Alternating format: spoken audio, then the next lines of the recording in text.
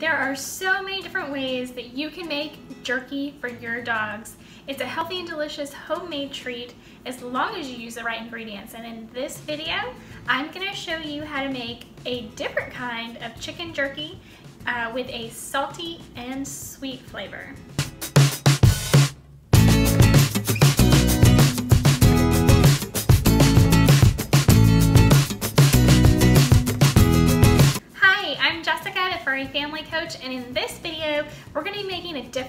Of chicken jerky for your dogs. We're to make a salty and sweet chicken jerky for our dogs.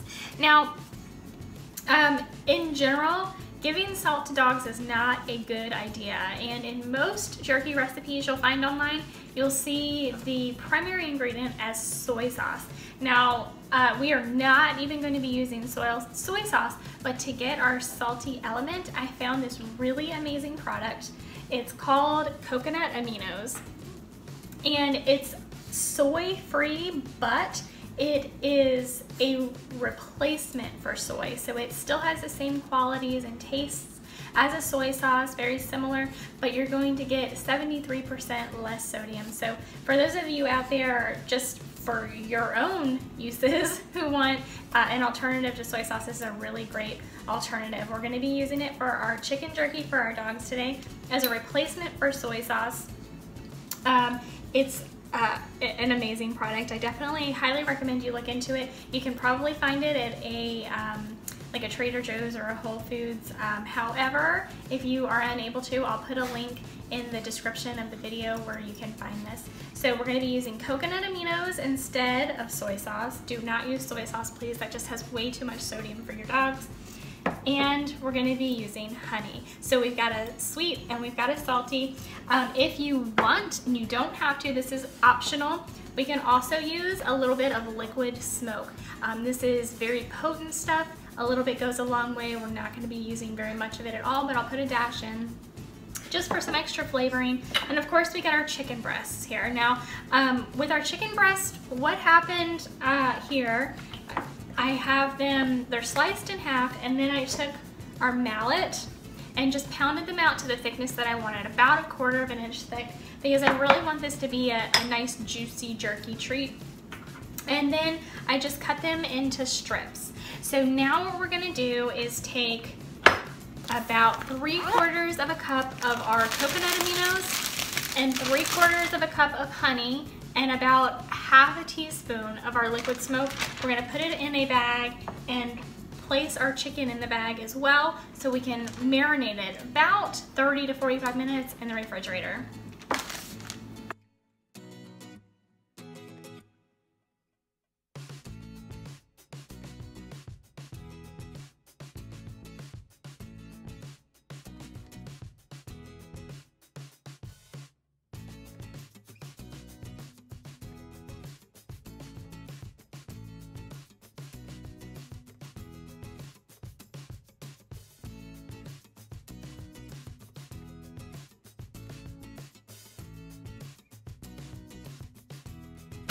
Okay, now I've got all of our liquids in the bag and kind of mixed together.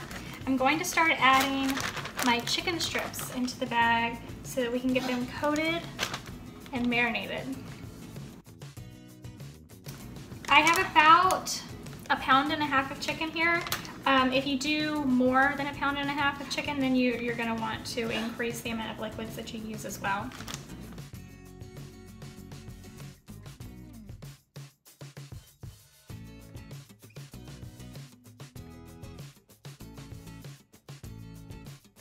Okay, so as you can see, I'm just gonna take uh, the Ziploc bag, I'm gonna close it, of course, and I'm just gonna take my chicken and move it around so I make sure I get all of that yummy salty and sweet flavor on every single strip of chicken.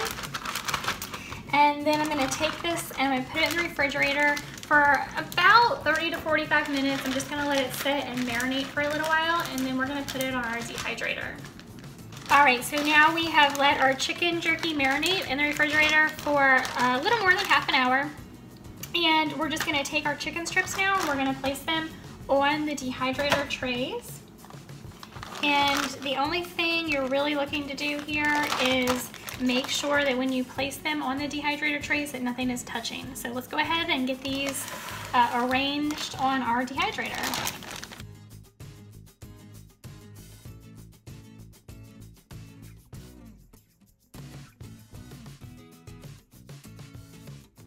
All right, so now that we've got our chicken jerky in our dehydrator, I'm gonna go ahead and turn it on. I'm gonna put the lid on it and turn it on.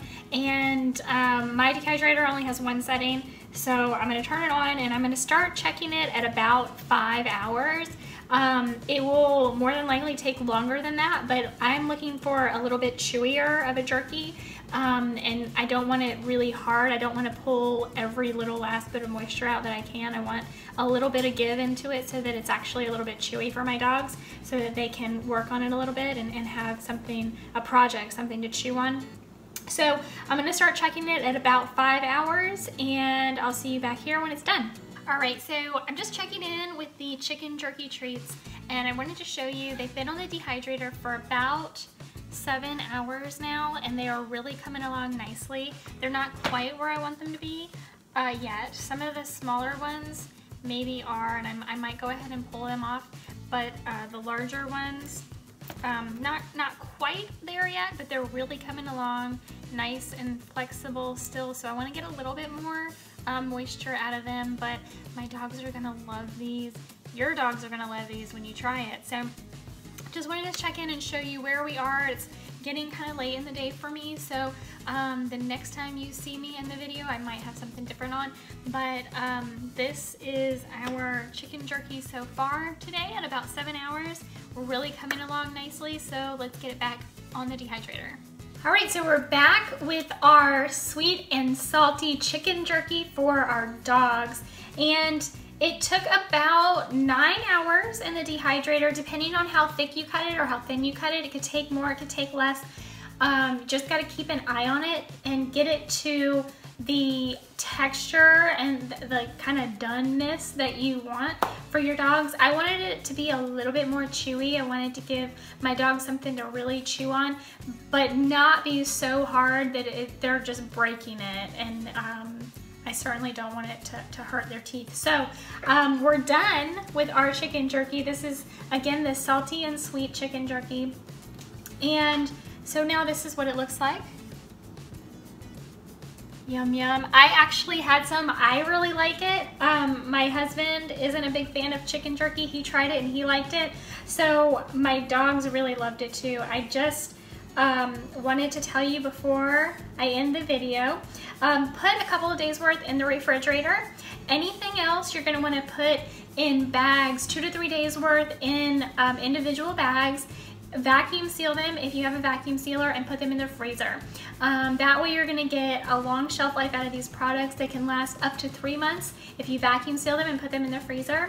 Um, and then again, just two to three days worth in the fridge is all you're gonna need. Your dogs are gonna go absolutely crazy over these. They are so delicious and they're healthy. I mean, they're salty and sweet, but we didn't use like straight sodium. We didn't use soy sauce, which is not good for your dogs. We used a really awesome product, the coconut aminos. 73% less sodium than soy sauce, um, but you're still get, getting that salty flavor, which is great. And the sweetness from the honey, which is all natural. We love that, right? So um, you can feel good about feeding this to your dogs. So with that, I'm going to go ahead and give some of this to my dogs because they can smell it and they want some. So I'm going to end this video. If you like this video, please give it a thumbs up. Don't forget to subscribe to my channel so that you can see all of my videos when I post them. Once you subscribe, hit the little bell. It comes up next to the subscribe button. That way, you'll actually get an email from YouTube every time I post a video, so you'll never miss another video.